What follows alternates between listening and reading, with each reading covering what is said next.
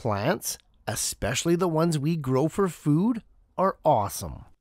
As gardeners, that's not something we really need convincing of. From life cycles that burn brightly, giving up all the goods in a single season, to others that keep going year after year, albeit with a few breaks in between.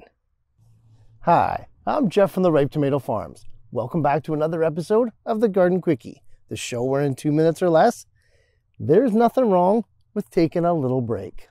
And today's episode is all about those breaks. More specifically, plant dormancy. Why do they do it? What's the point? Time short as you know it is, so let's dive in. If the conditions are just right, many plants will go about their business for years and years without a care in the world. We call these plants perennials. Trees are the most perfect example of this. Evergreen stalwarts grown in situ for decades. But even within that great group of plants, there lie specimens that go dormant.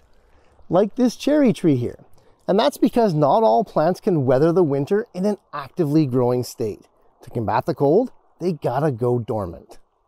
If certain plants, like this blueberry bush here, were to remain actively growing when the real cold hits, water in the stems and leaves would freeze and rupture their cells.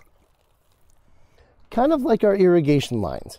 In short, dormancy is a survival mechanism for our plants.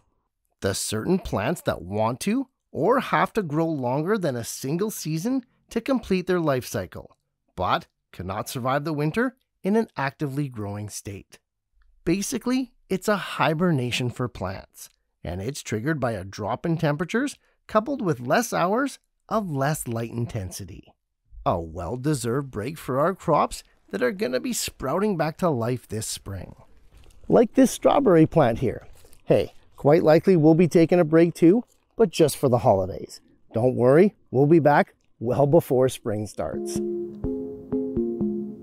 Thanks for watching, guys. And hey, if Garden Quickies are your thing, make sure to subscribe and click on this playlist here as we explore and solve more growing issues in two minutes or less.